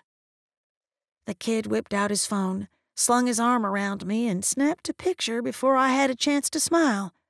I'll text you a copy for your daughter. Just don't post it on social media or anything, okay? I can't promise she won't print it and stick it on her wall, but it won't show up on the internet. We aren't on social media. He gave me a horrified stare, laughed, and went inside. I turned to walk back to the crime scene and found Aaron standing a few feet away, just out of sight of the front door. He tilted his head. Was that the kid from Vampire Suck? Chapter 18 On the drive home, I filled Aaron in on everything from the jerk detective to my conversation with Micah Sterling. He nodded and made grunting sounds now and then but I highly doubted he'd processed anything I said. It's good news, right? I gave him side eye. Sure is. He drummed his fingers on the steering wheel. I mean, it's a huge break in the case. Aliens! Who would have thought it possible? He nodded, stopped, and frowned. Sorry, I'm distracted. Really? I didn't notice. I turned as far as my belly and the seat belt would allow. Did you find anything at the retention pond? No. It's odd. He pulled into a shopping center and cut the engine. It was the place from my dream, but different. How so? He took so long to answer, I thought he'd missed the question. Aaron? Hang on. He grabbed his phone and scrolled through several photos before turning the screen toward me. See this tree? Uh huh. In my dream, it was broken in two and there was debris on the ground. He showed me a series of images from the area around the pond. We had storms last week. Maybe you saw the past? We may have lived in the Sunshine State, but it rained like the dickens almost every day in the summer and early fall. If that's the case, then the perp could have been stalking the victim. He sighed like a man carrying the weight of the world on his back. You and Bryson know plenty of people who use magic. There has to be someone we can talk to about this. I had an idea. Actually, there is someone who might be able to help, and it just so happens she works in a diner. I don't know about you, but I'm starved. I could eat. He leaned forward and kissed me. Where to? I'll pull it up on GPS. You call Bryson and tell him we're going to pay Scarlett a visit. Who's Scarlett? You'll see. I should have warned him about the elderly seer, but it'd be far more fun to see his reaction going in cold. He gave me a dubious look and dialed his cell. Hey, Tessa thinks Scarlett might be able to shed some light on my magical puberty. I couldn't make out Bryson's words, but his laughter boomed through the phone. We'll be home in a couple hours. He disconnected and gave me another curious glance. You're not going to tell me anything about this mystery woman? Nope. Fifteen minutes later, Aaron parked in front of the 50s style diner. He ducked his head and stared out the windshield. Are you sure about this? Yep, and Bryson agreed. Come on. I twisted to open my car door, and another bolt of pain stole my breath. Are you all right? He rested his hand between my shoulder blades. I nodded because I didn't trust my voice not to crack. Two or three deep breaths later, I hoisted myself out of the car. Aaron hovered around me like a spotter waiting for me to screw up my bench press. You're pale. We should get you home or to a hospital. I took a moment to make sure my legs would hold me upright. It's probably Braxton Hicks contractions. They're common in late pregnancy. I don't like the sound of that. He scratched his jaw. It's nothing to worry about. I hooked my arm in his. If I were in real labor, the pains would come more often and at regular intervals. Right. I remember that from those classes we took. He led me inside. The wonderful aromas of fried food, grilled meat, and chili made my stomach growl. See, further proof I'm not in labor. Women lose their appetites right before their babies are born. Tessa. Uh, Scarlett wiped her hands on her apron as she came around from behind the counter. Good to see you. My goodness, you're glowing. People always say that, but I think the correct term is growing. I clutched my purse to remind myself not to shake her hand. Scarlett could see a person's past and a teensy bit of their future through skin to skin contact. We weren't here for me. Aaron needed her help. She gave me a knowing look and turned to my blue eyed detective. And you're Aaron, having some trouble in your sleep, are you?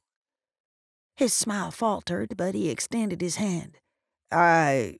yes, on both counts. Nice to meet you. You can call me Scarlet. She wrapped her fingers around his. Aaron jolted.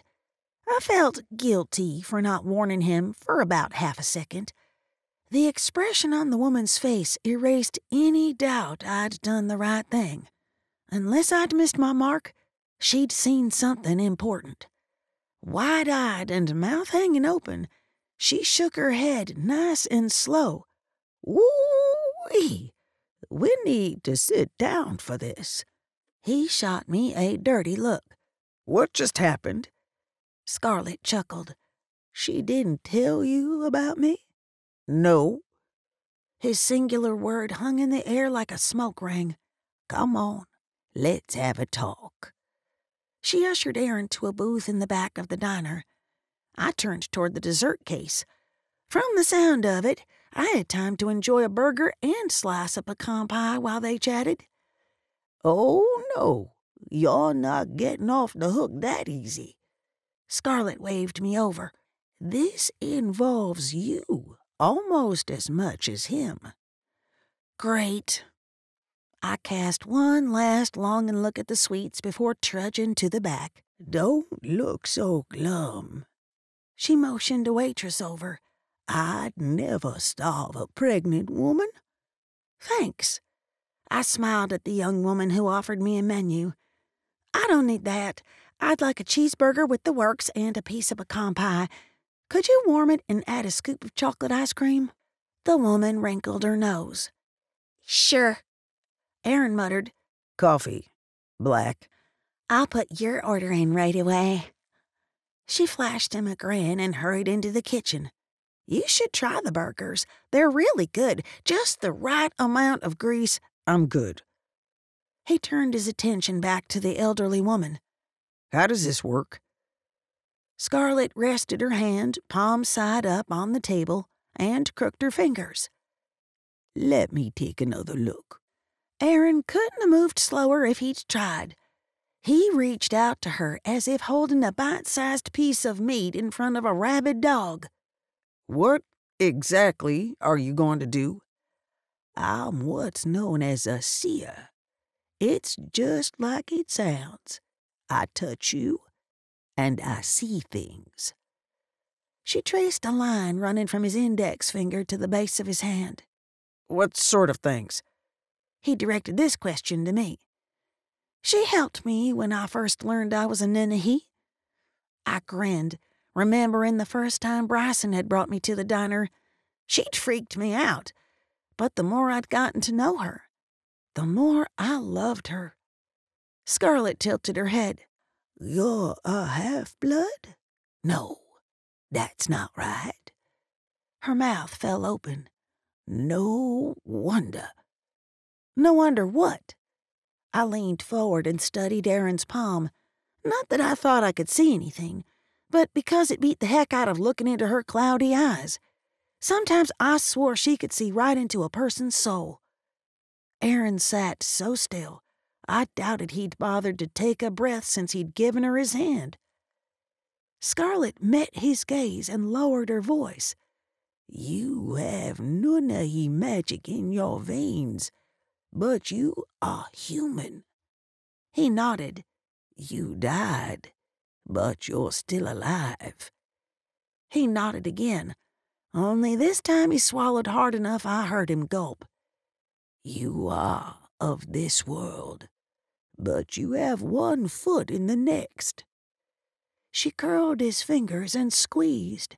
It's no wonder you can't stay in your body. I choked on my own spit. Coughing up a blue streak, I held up my hand. Scarlet took it as an invitation, or at least an opportunity, and grabbed my wrist. Her pale blue eyes rolled back, and she made a strangled sound. Her grip tightened to the point of pain. I cried out, but her nails continued to bite into my skin. You're hurting me. Aaron placed his hand over hers. Let's go. Her eyes flew open. She glanced between us, and the blood pooling beneath her fingers as if she had no idea who we were or what she'd done. Scarlet? I pulled my arm free of her grasp and pressed a napkin over the four half moon shaped wounds. Oh, child, I didn't mean to hurt you. Please forgive me. Her voice cracked.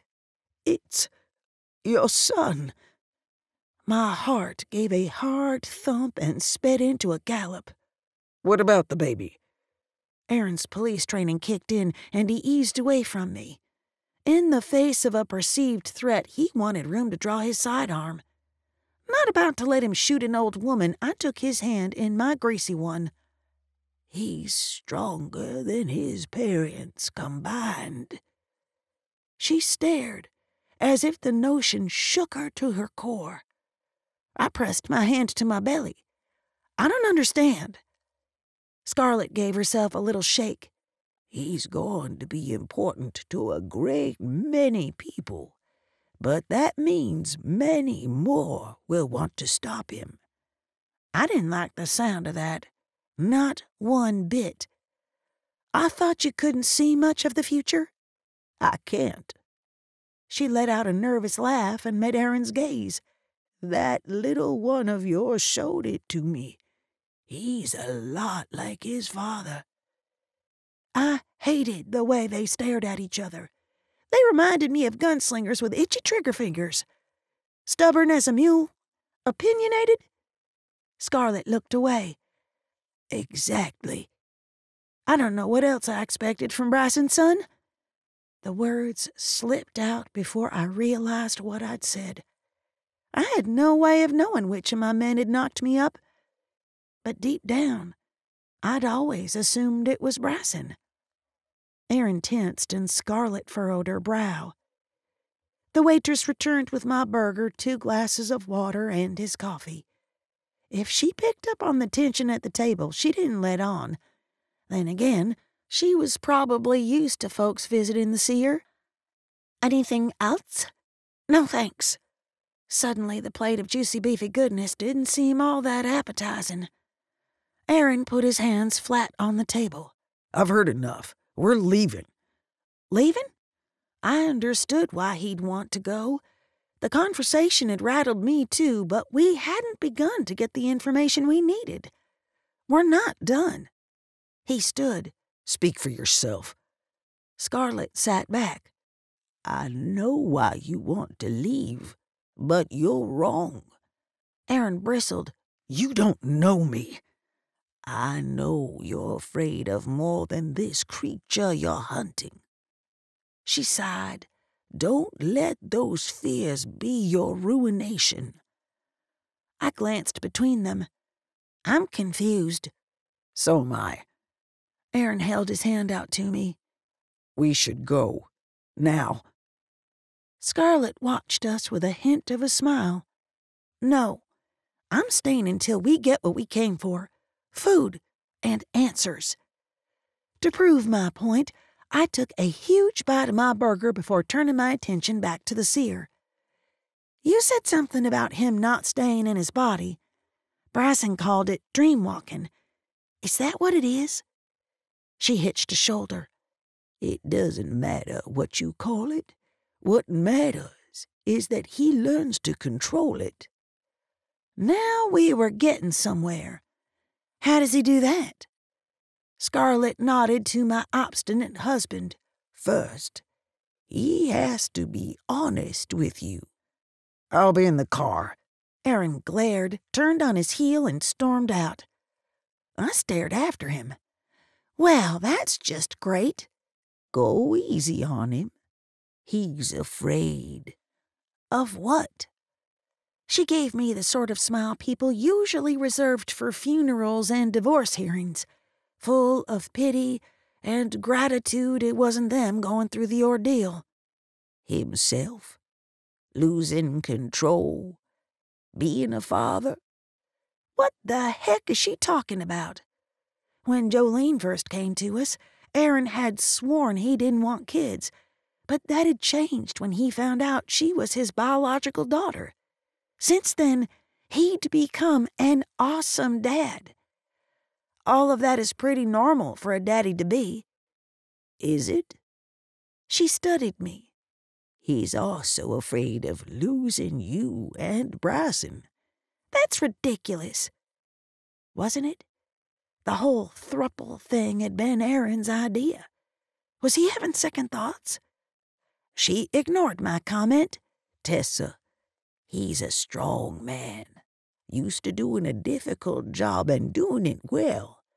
He carries a heavy weight without complaint, but it's time he shared the load. I hated riddles almost as much as I hated physics. It's been a heck of a couple of days. Tell me, plainly, what's going on with him and how to fix it? She pursed her lips. Isn't that what I'm doing? Yes, Sorry, but I don't understand. You will, when the time is right. Ugh, is she incapable of answering a question without creating twenty more? It occurred to me she probably did it on purpose to make me think. The problem was, I was all thought out. I get it. I do. I'm a therapist by trade. We aren't supposed to tell our clients what to do. They have to figure it out for themselves. That's generally best. Between worrying about Tank and TJ and finding a monster and fixing the veil and having a baby and the million other decisions that needed to be made, I couldn't take one more thing. I hated to cry, doubly so in public, but I couldn't hold back my emotions. Fine, I'll work out the relation stuff on my own, but I'm begging you, tell me how to help him with his magic. I can't find him unresponsive on the couch and think he's dead again. I can't wake up to a freaking shadowy being sucking out his energy. I can't. What did you say? She reached for my hand. I pulled back in the nick of time. No more readings. Not yet. Scarlet seemed to realize what she'd done and folded her hands in her lap. Tell me about the shadow. I told her everything, from waking up during the attack to my conversation with Charlie. While it felt good to get it off my chest, her expression troubled me. I stopped talking and waited for her to respond. She raised a trembling hand to her mouth Tessa, do you realize how dangerous a tear in the veil is? I thought I did, but her reaction made me doubt myself. We're going to fix it, but we can use all the help we can get. Count me in. This affects more than you and yours. The spirits who cross over won't stay in one place long. They'll spread out to the four corners of the earth in search of people to terrorize. She shook her head. I need to speak to the three of you together. I turned my attention to the parking lot. Holding his phone to his ear, Aaron paced a rut in the asphalt. Between his scowl, stiff posture, and exaggerated hand gestures, I didn't need to hear the conversation to know he was seriously pissed. That might be easier said than done. I mulled over her warnings about dishonesty and fear. Until we'd walked into the diner, I would have said things were about as good as they could get between Aaron Bryson and me. That is, if I overlooked their wanting me to give up my job and raise the kids like a Stepford wife. What's he afraid of? Better question, what's he being dishonest about? Scarlet lowered her voice. I can see the wheels turning in your head. Give him time. That's not something we have these days, is it? No, I suppose not. I'll call Bryson. She stood and took several steps before turning back to me. Before I forget, I know a person who might be able to help you with your boo hag problem. My what? Where have I heard that before? Scarlet ignored my question. Chapter 19 I stood on the front porch until Aaron's tail lights disappeared from view. Other than to tell me the chief of police had asked to see him and Samuels in his office, he'd barely spoken to me on the ride home from the diner. Me being me, I played Scarlet's words in my head like a looping GIF. Bryson stepped outside. Where's Aaron? Said he was needed at the station. I stared at the darkened drive. You don't believe him? I plopped down onto the porch swing. I don't know how to answer that. Isn't it a yes or no question? He offered me a half smile. One look at him and my blood pressure rose. I recognized his tone of voice. How could I not? I'd spent the previous hour with Scarlet giving me patient smiles and asking leading questions. I darned sure didn't need the same from him. If you have something to say, say it. His smile morphed into a frown. Mind if I sit? Suit yourself. Bryson moved as if afraid I'd bite if he made any sudden movements. Smart man. Did Scarlet call you? I winced at a twinge of pain in my lower back. Yes. She's very concerned about the tear in the veil. He rested a hand on my belly. Did she say anything else? We had so many huge problems to talk about. The situation with Aaron seemed almost trivial in comparison. I mean, who cared about relationship problems when someone had left the door wide open? Any manner of beings could come through and wreak havoc on the human race? She said our child spoke to her. He leaned in and kissed my baby bump. And that he's something special. While I appreciated his devotion to our unborn child, developing a plan to handle Quinn's superpowers could wait until he was born. We had more urgent problems. Nothing about Aaron, then? Nothing I wasn't already aware of. He gave me a half hearted smile, but he couldn't hide his disappointment. An odd sense of deja vu came over me, like we'd had this conversation before no, this was different. It felt more like Vujade. I had no freaking idea what he was talking about. Care to explain it to me? He's afraid he'll lose you and our family. Bryson slid his arm around me. He'll come around in time.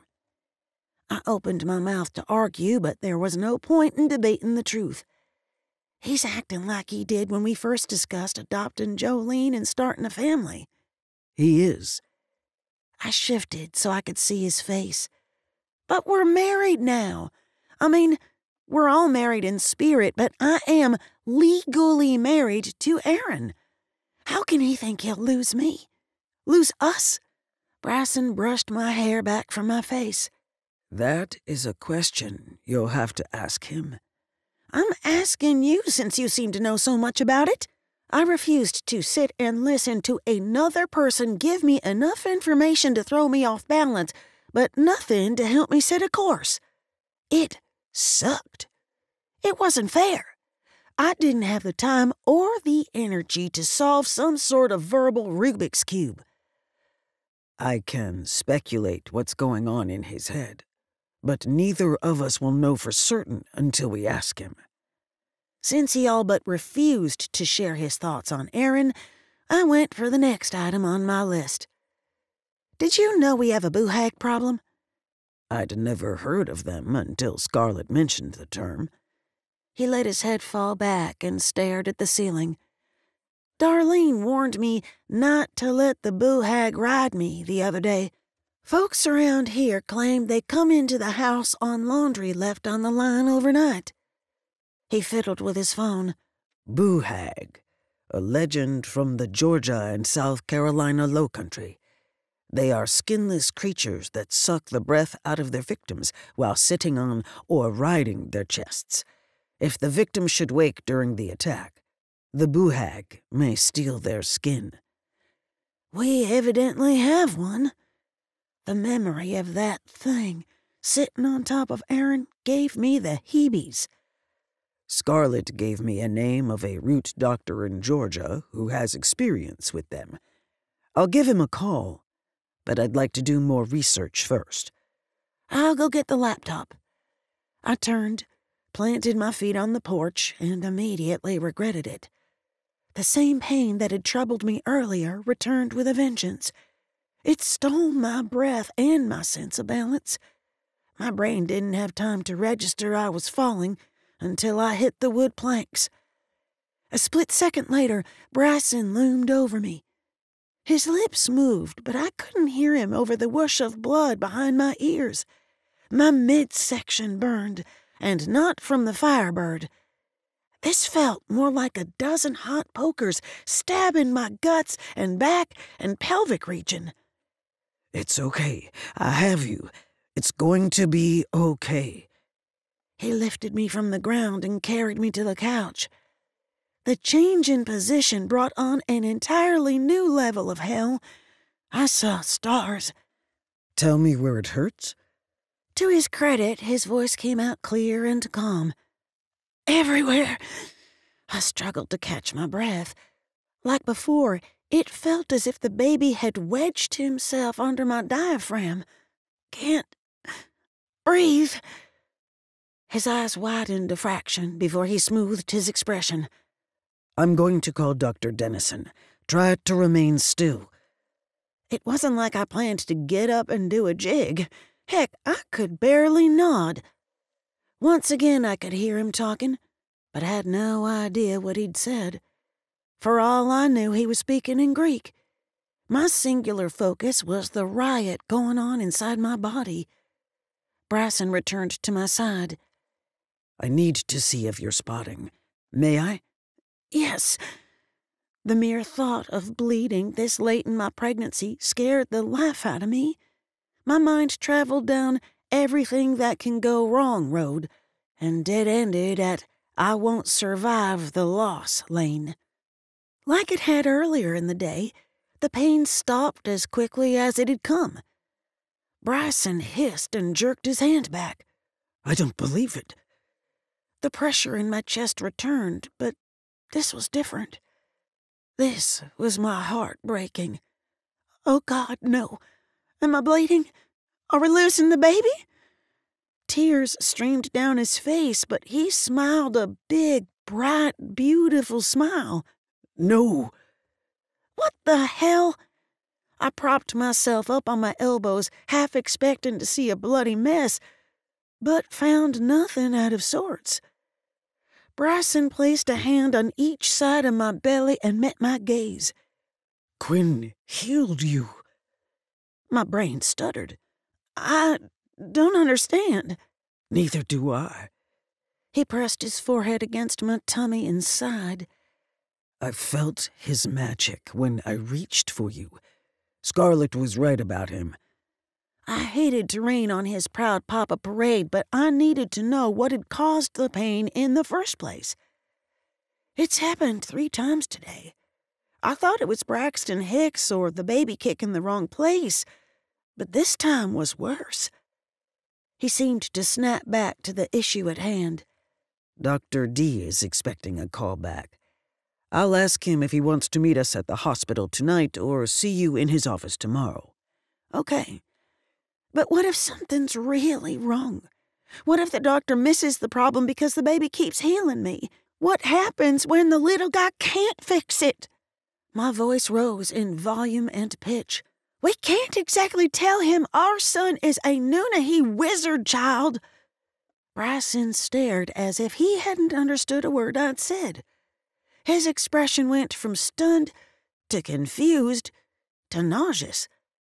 Mr. Cool under pressure began to crack. I didn't mean to yell. I pushed myself upright. It's not that. He smiled, but it seemed forced. Not exactly the reaction I needed. Not when I was one wrong word away from a full blown panic attack. You should keep your feet higher than your heart. I'll call the doc back. First Aaron, now Bryson? Had they both suffered from some sort of pregnancy stress induced meltdown? I curled up on my side and tried not to think about raising a child with more magic than the three of us combined. How on earth would we get him to eat his veggies if he could level us with a wave of his hand? Bryson returned a few moments later. Whatever the doctor had said seemed to have calmed him down. Dr. Dennison said to go straight to the emergency room if you have any more pain. Otherwise, stay off your feet tonight. He wants to see you first thing in the morning. Thanks, I stared at the television, but didn't bother to turn it on. My mind was elsewhere. Besides the problems with Aaron and threat of invasion from an army of evil spirits, we hadn't even started to put the nursery together. Heck, I hadn't gotten around to opening my shower gifts. Will you be all right here for a few minutes while I ask Grandma to keep the kids overnight? I nodded you might as well take changes of clothes and PJs with you. You know she'll say yes. Do you mind if I tell her you're experiencing some pain and the doc wants to see you? He brushed his fingertips across my cheek. I nuzzled against his hand. That's fine. Just make sure the kids don't overhear you. Jojo will want to check on me, and TJ doesn't need anything else to worry about. I agree. He disappeared down the hall and returned with a stack of clothes. I'll only be a few minutes. Take your time. My stomach growled. See if she has any ribs and birthday cake left. Will do. After he left, I counted to a hundred and waddled into the office. I might not have been up for doing much, but there was one thing I could cross off the to do list summon a dead bank robber. This has been part two of the Spirit Walker, Tessa Lamar novels, Book 4. Written by Kathryn M. Hearst. Narrated by Holly Adams. If you enjoyed this audiobook, please subscribe to Kathryn's channel where you can find part 3 of The Spirit Walker, along with more of Kathryn's paranormal and contemporary romance novels.